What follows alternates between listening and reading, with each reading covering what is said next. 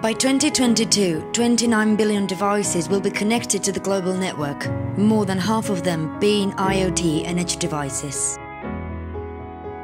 Data centers come in multiple forms, from hyperscale down to the micro edge data center, which pulls data further out to the edge where it's being produced and consumed.